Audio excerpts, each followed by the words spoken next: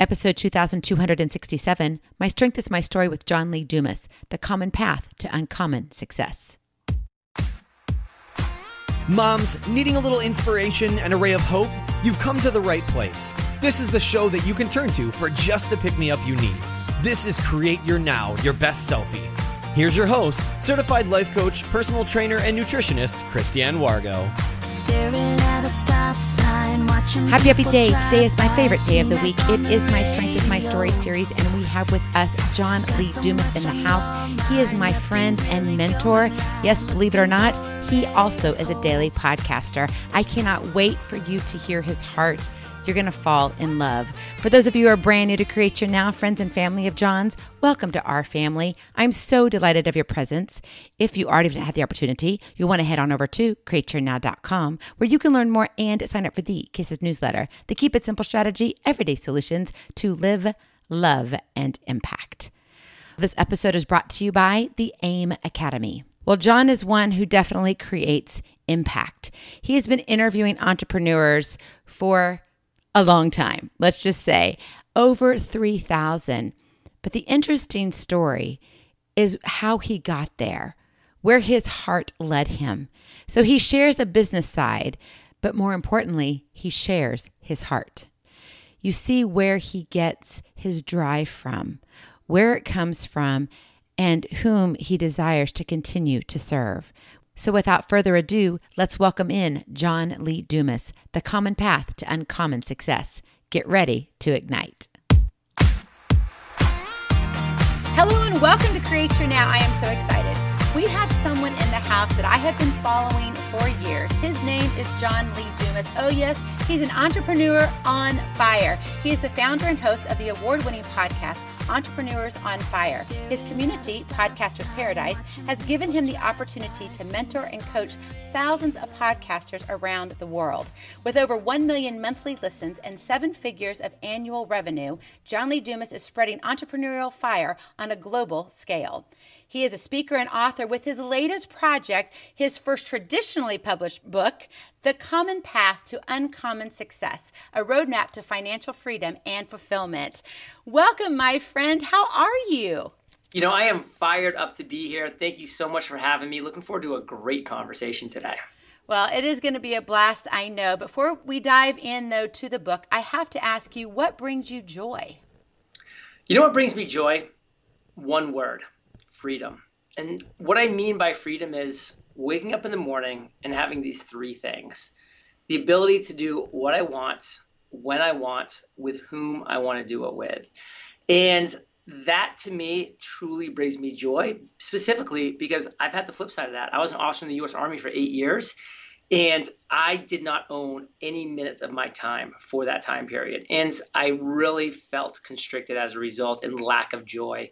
So I truly love waking up in the morning. My heart sings when I look at my calendar and I'm like, everything on there is what I chose and want to do. I love this. Isn't that great to be able to choose your life? But let's take it back a few decades. Let's go back when you were growing up. What was it like for little John? That was a few decades, by the way, because I am 41 years old now. So, I mean, you know, let's be honest. Like, I'm no spring chicken. oh, you're still younger than me, though, I must say. Uh, listen, I grew up in a very small town in Maine, under 2,000 people. Um, it was a great uh, childhood. I mean, my grandmother lived a mile down the road. My other grandmother was within five miles. There was a park a quarter mile down the street I could walk or bike to that we would play basketball and baseball, and sports were a big part of my life. And I just loved like that small town environment. And then I had the kind of the cool thing of some cousins that lived in Boston, so I got to go down to the big city every now and then. So I really had this like well-rounded uh, childhood, where it was kind of small town roots, but you know some access to the big city. So I wasn't like this wide-eyed, like naive person when I went to college in Providence, Rhode Island. Like I was like, okay, I can handle this. You can handle this. Well, the world has had some influence though on your life. What happened your senior year of college? I spent four years in college as an Army cadet. And then uh, my senior year in college, so my last year as a senior Army cadet, I woke up that morning of 9 11 and the towers were burning and smoking. And I was like, wow, I know that in six months I'm being commissioned an officer in the US Army, but holy crap, like this is going to be real now. Like I went from joining a peacetime army, which you know, it was going to be serious and, and hard work, but, you know, we were just going to be a peacetime army to an army that was gearing up to go to war. And sure enough, you know, a year later, I was in Iraq. I was in charge of four tanks and 16 men. And it was a very intense 13 month tour of duty. You know, again, going from like this college student with very little to no, uh, you know, responsibilities, so to speak, to I couldn't have had more responsibilities piled on my back. So it was uh, quite the life shift to kind of like just flip that switch in such a short time frame. Um, and you know that was the route that I had chose. Though you know I had committed to four years in the army, and I was off to serve my country. Well, I have to thank you for that service. My father served both Navy and Army. And wow. so I completely understand. He was two years as a Vietnam uh, veteran and then also in the Gulf War. So thank you very much. And for all of our listeners and those who are watching online, it's one of those things that I think we take for granted and we say, oh, we want to thank you. But no, I truly do because I know what it's like not to wake up with the man, which was my father that I love, next to me. And so thank yeah. you for that, John. Well, I appreciate your appreciation. I really do. And, you know, that's one thing that really is amazing about the U.S. Army is the support that we have from, you know, our fellow countrymen that we are, you know, there protecting. And, you know, even if, you know, individuals, you know, didn't necessarily always support you know the the war efforts themselves we always felt the support for the soldiers because you know they knew that we weren't the ones making the decisions. We were there because our chain of command told us we had to be there and there were decisions that were made that were about 74 pay grades above us but you know we were doing what you know we were told to do. Yeah. Well for that thank you very much. But in that of course like you mentioned before you led a group of soldiers. Four of them paid the ultimate sacrifice. How have you honored their lives as you've walked this common path to uncommon success? So that was one of the most difficult things of my life because you know when you deploy to a war, you know you have like this essentially bon voyage party for lack of a better word, and you get to meet all the mothers and the fathers and the wives and the siblings and the kids of everybody that's in your platoon.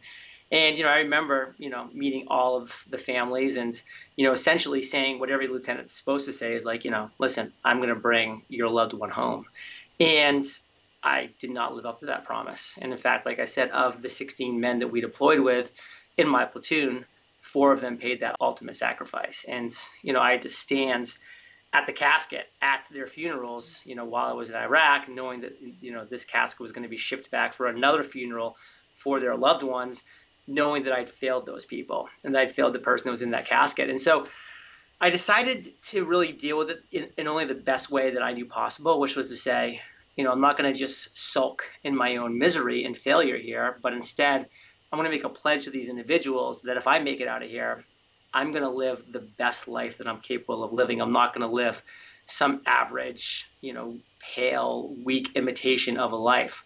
I'm going all out. And, you know, not to skip too far ahead, but like I had to tap into that courage multiple times. Like when I was in law school, like I hated it. And I probably would have stayed in. And, and most people that were my, my peers stayed in because they thought they had to. But I was like, oh, man, I know how I know how, I know how short life is. If I'm this miserable, what am I doing? Going to waste another three years in law school? Like, I'm out. And it was a hard decision, but I had to tap that courage and that promise that I had made to those fallen soldiers. And I had to do that multiple times in my life. And, and you know, what that allowed me to do was to finally get it right. Because, you know, I got all these things wrong. But instead of like staying in any of those wrong things, which so many people do for their life, and then they have nothing but regret at the end of their life, I kept quitting and I kept changing and trying something new until something finally hit. And that something was Entrepreneurs on Fire which it totally is on fire because you have interviewed over 3,000 entrepreneurs. I've lost count. I know when I found you, I was like, oh my gosh. And I can say this I am a fellow daily podcaster. Not very many people do that because so it's, true. It's hard. It's hard. But you have it more difficult actually because you're actually interviewing them. I'm doing my own stuff with interviews thrown in. So let's talk book. You've got, you did some self publishing prior to, you have some journals. They were very successful. But you stumbled upon something not by accident, but by doing. And it was the 17 step roadmap to uncommon success that you lay out in this incredible book. What step did you get stuck in the most? it's a very interesting question. So to kind of step back here to like explain fully what that step was that like, you know, really mired me the most was I've interviewed over 3,000 successful entrepreneurs and I decided it was finally time to like write the definitive answer to the questions that my audience asking me every single day. Like for my audience, I essentially get the same 10 questions. I mean, they're slightly different, they're phrased differently, of course, but they're essentially the exact same 10 questions. And unfortunately, I can't answer every email independently. I'm just like, there's no time in the world for that. But I can sit down and write the 100% total solution. And so I sat down and I said, let me boil down what all 3,000 of these guests that I've had on, all these successful entrepreneurs, let me boil down the commonalities that they all share together. And when I boiled it down and I looked down at that piece of paper, there were 17 core foundational principles. Tried to make it 18 to get to an even number. Tried to chop down to 16 for the same reason. It, no, it, there were 17. There were 17. I couldn't even take one out because then the whole thing fell apart. And then I said, I'm going to put this in a chronological order so that everybody now, when I actually sit down and write this book, will have a 17 step roadmap to financial freedom and fulfillment. And we're talking step by step by step. Start at step one and go all the way through to step 17, period. That is the financial and freedom roadmap that I'm providing to you. That is your version of what I call uncommon success. And that's what I want for you. And honestly, there were a number of steps that kind of like slowed me down. But the one that really kind of stopped me in my tracks was step seven, chapter seven. The average chapter in this book is uh, 3,500 words. This whole book is 71,000 words. It's 273 pages. Like this book is a beast of a book. Chapter seven is 13,500 words just by itself. It could be a business book, just chapter seven. So that was what stopped me. I was just like, oh my God, because I'm like writing this chapter. And then the next week, I'm still writing the same chapter. I'm like, is this chapter ever going to end? But I knew I had to, you know, give it everything and then put everything in there that needed to be there. And by the end, I was looking at it and I was like, wow, this is actually so telling to me. Like, this is what stopped and slowed me down at the beginning of my journey. I couldn't figure out the step, which is creating a content production plan. And I struggled so much as a result. And I worked so, so hard to like force and grind my way through when it didn't have to be that difficult. It did not have to be that hard. And so we today, as you and I are talking, have a fantastic content production plan. Like it is a 10 out of 10. It took us a decade to get here. Let's be honest. It used to be terrible, but it's a 10 out of 10. And I'm also going to be honest with people that are listening right now. I'm willing to bet that your content production plan is terrible. Mine was terrible. I bet yours is too. I really do. But guess what? It gets a little bit better every time you do that thing. Or you read about somebody who has a fantastic content production plan and they give you all the steps, the entire roadmap, everything you need to create an amazing content production plan now. So this is going to be work, by the way. This is 13,500 words, just that chapter. But when you put in the work and you have a content production plan for probably the first time in your life that's not terrible, but awesome, your life will change. Well, and what's interesting, you mentioned freedom. And that's one of the things that brings you joy is having that. Well, when you look at your business, that shows up also on your calendar as into what you want as your lifestyle as a whole. Boom. And you know that's really important. And you've been able to crossbreed that, which is incredible. So you all are going to want to pick up your own copy of The Common Path to Uncommon Success, a roadmap to financial freedom and fulfillment. And let me expound on that because your yeah. point is so true. It's I'm in book promotion mode right now, so I mean my schedule's kind of crazy all over the place. I'm actually doing 54 interviews this week, like that's what I'm doing. I'm just committed. I'm going all in. So what are you drinking? That's what I got to okay. say. this is this is your, your hazelnut coffee right here. Ooh. This will be my last cup of the day though, because I'm almost on my my caffeine curfew. And then I'm moving on to my ginger and lemon tea. Mm. Um, I also have this great tea. This is great for any interviewers. It's called Throat Coat. You can just order on Amazon, and it's like a licorice flavor, but it does really wonders for coating your your vocal cords, which is amazing.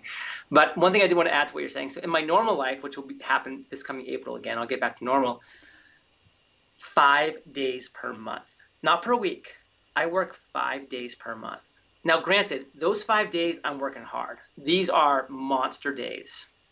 but my content production plan is so fantastic, you know, after a decade of, of building it, that I'm able to literally be in cruise control 25 days per month. It's possible. And that's on a business that's still netting over $2 million a year. That's incredible.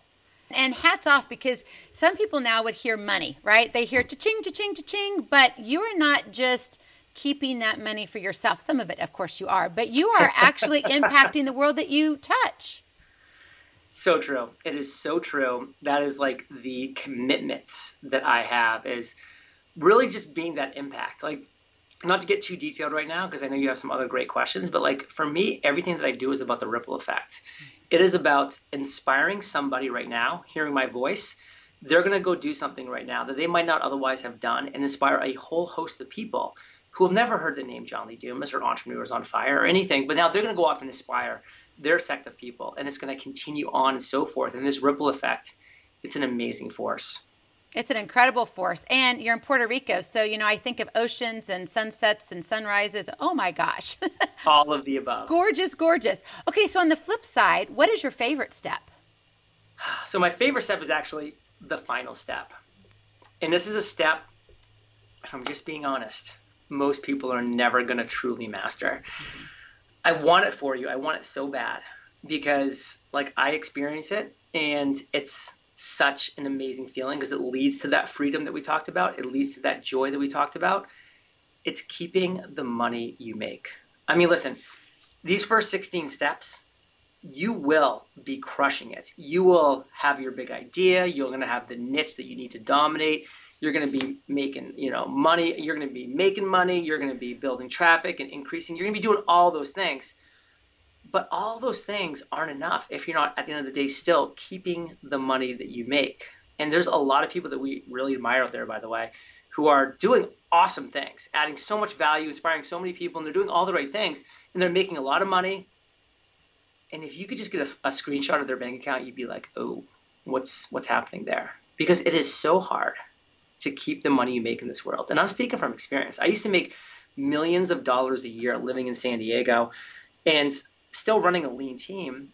But even with that, I'm like, where's where's all the money at the end of the year? It's literally almost impossible to keep the money you make unless you really implement a strong system to do so. And I made the switch. I made a couple big key moves that made some big changes, but then a, a ton of smaller things too that they really add up over time. And like again, not making this all about money, but like there's a reason why they say the rich get richer is because it takes money to make money. Like when you actually have money that you can invest, that you can invest in companies, stocks, you know, cryptocurrency, real estate, you know, diversifying your, your portfolio. What about investing in yourself too, like your business, um, you know, ad spend. You can invest money in, in all these things.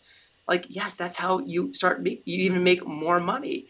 And let me be honest, like I, I am a believer that money alone cannot buy happiness, but I'm also a believer that the lack of money makes it pretty hard to really be happy because now you, you're doing what you have to do, not like what you want to do. And again, going back to my joy, I want to do what I want to do. And by the way, the hundreds and hundreds of thousands of dollars that we've donated to causes that we love over the years has brought us so much happiness. Being able to to hand a blank check to a cause that you believe in, if that doesn't bring you happiness, then A, you need to check your pulse. But B, again, the people that say money can't buy happiness, they've never been able to do that simple act because if they did, they would second guess that that comment. Oh, that's so good, John. And you're right. Money doesn't bring happiness, but money can allow us to help change the world and impact it and make it even better than what it is, along with giving what you call your joy that freedom. Because I know there's some congratulations happening in your life. you maybe. have a maybe you have a little sweetheart on your arm, which she is. Oh my gosh, she is incredible. You guys are definitely a power couple for sure. So congratulations on everything up and coming. thank you, thank you. Christmas Day, I popped that question. Oh, wow happy Christmas, Merry Christmas, everything Christmas. I'm sure she was just absolutely thrilled beyond. Well, you know, many of us are bombarded with ideas. For the ones who have too many ideas, because you know, you sit around, you're like, oh my gosh, I could do this. Oh, wait, I could do this. Where would you tell them to begin? I would be very clear with them. I would say, listen, you need one big idea. I'm not telling you to go out and find 10 big ideas or five big ideas or even two big ideas. I'm telling you to identify your singular big idea in this world. There's a phrase that I love mo- more than most any other phrases that I have, and that's off the word focus, which is follow one course until success. Because when you focus, when you follow one course until success, you actually have a chance to do the following. You have a chance to become the number one solution to a real problem in this world. And when you can become the number one solution to a real problem, everything, and I mean everything changes because now people will beat a path down to your door. You are never going to become the best solution to a real problem if you don't focus. And that's where so many people fail and struggle. People don't want the second best. They don't want the 10th best solution. They don't want the 100 best solution. Give them the best solution to a real problem and you will win. And you've done that. I mean, your book came from you finding that one big idea that you had, even though you tried lots of them. I mean, you call it six years of struggles. And so, you know, you really said, this is where I'm at and this is where I'm going to pinpoint it. That was my problem during those six years is I was just like dipping my toe and trying a bunch of different things and like making no impact because I didn't know that advice. I didn't understand that concept. But when I finally understood that concept at 32 years old and finally focused on one thing and finally went all in and created, by the way, the best daily podcast interviewing entrepreneurs, it was also the worst daily podcast interviewing entrepreneurs. It was the only daily podcast interviewing entrepreneurs. Guess what? If you are the only, you're also the best. And that is a win as well. So you can think about it that way. Oh, good stuff. Good stuff. I love it. Well, in your book, you actually highlight successful entrepreneurs. You tell your story throughout, but then in each chapter, with each step, there is an entrepreneur that you highlight that really kind of maps out that particular step that is being worked upon. But we've already mentioned that 3,000 plus entrepreneurs you've interviewed. Of all of them, which entrepreneur has had the greatest impact on you and why? You know, I'd say the person that had the greatest impact on me was my first mentor, Jaime Masters. This was a person who was running a successful business podcast. She had been doing it for about a year and a half at that point, The Eventual Millionaire. And I just needed one person to tell me, hey, John, your idea isn't crazy. Hey, John, like what we do as podcasters isn't like silly, isn't some like, you know, we're really helping people. We're really being listened to. We're really impacting lives. I just needed that person that was like my guiding mentor, who had been there, who had done that, who was where I wanted to be in this world.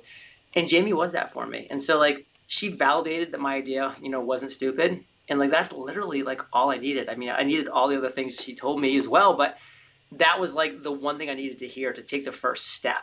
And like if you know, if I hadn't found somebody like that, if I hadn't found the right mentor, I don't know where I'd be.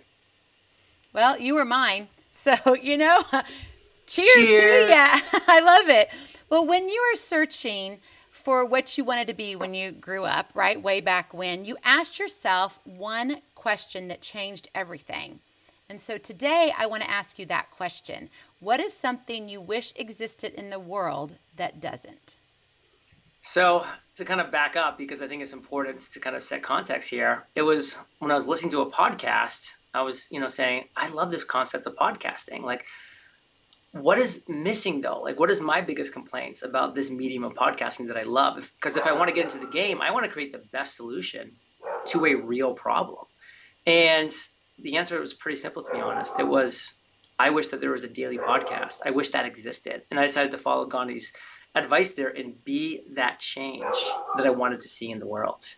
And that allowed me to create this podcast, Entrepreneurs on fire. And that was so key back then. So fast forward 2021 now, here we are. Like you're asking me, like, what do I wish existed in this world right now?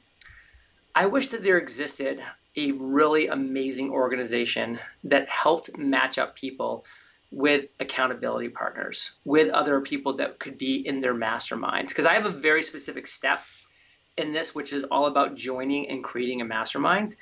And everybody does it wrong and they don't get much value because they do it wrong. You have to do this part of the process right. And one of the toughest things is finding the right people for your mastermind, either finding the mastermind or creating it yourself. And if we could just have like thousands and then tens of thousands and hundreds of thousands of master of accountability groups, of masterminds, of you know just peers getting together, you know, running a mastermind the right way, which again nobody does. The world would be such a different place. Oh, I love that. Just is, is that a little sneak peek of maybe what's coming later? Unfortunately, no. I, it's just it's just not a solution that I want to create. And that's one thing I tell people is like you're going to come up with a hundred ideas in your life, maybe thousands, and they're all going to be good. But you need to really say, do I want to create the solution to that?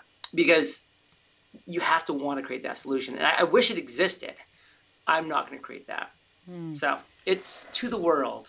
It's to the world. Well, y'all are going to want to pick up your own copy of The Common Path to Uncommon Success, a roadmap to financial freedom and fulfillment. Well, before I let you go, I have one final question. The series is called My Strength is My Story. What has your story gifted you? Perspective. Hmm. Perspective. You know, knowing that when I wake up and have a bad day, you know, like something's happening with our house here, or it's raining out, which doesn't happen often, but it happens, or, you know, this happens in the business, that happens. And I'm just like, oh man. But then I'm like, whoa, snap out of it. Come on. Like, you're running a multi-million dollar business. You're, you're doing what you want, where you want to do it, with whom you want to do it with. Like, your life is awesome. Like, there's, of course, going to be some up days and some down days, but get a grip. You know, like are you being shot at right now? Are there mortar rounds dropping to your left and to your right? And like that's kind of one of my things. You know, that gives me great perspective. Is I can always kind of mentally and visually go back there, like that. You know, that's what memories can do for you. So perspective. Oh, I love that. Well, I know people are going to want to connect with you. Where can they find you and tell us more about the book? Well, listen, all the magic happens at eofire.com. So if you want to check out our websites, um, but Entrepreneurs on Fire is our podcast. You can find it any podcasting directory. But the big call to action is visit uncommonsuccess.com. You're going to see the five amazing bonuses that we have there for anybody who pre orders this book. Just one single pre order. I'm literally shipping all three of my journals to your door, to your door on my dime. This is for everybody that lives in the USA outside the USA, I'm immediately emailing you the, the beautiful digital packs of all three journals. There's also four other amazing bonuses. There's endorsements from Seth Godin, Gary Vaynerchuk, Neil Patel, Erica Mandy, Dorie Clark. The first chapter is there, so you can read it and see if you like my writing style. Um, and then also there's a video of me jumping in my pool with all my clothes on and then telling you all about the book. UncommonSuccessBook.com. We'll have this all this information in the show notes. John Lee Dumas, thank you so much for leading the path to uncommon success. Many blessings. Thank you. Feeling inspired, ready to train for life, and love your journey? Visit CreateYourNow.com for more incredible resources to help you along the way. We'll see you next time on Create Your Now, Your Best Selfie. And remember, always be sure you consult your physician before beginning any health and fitness plan.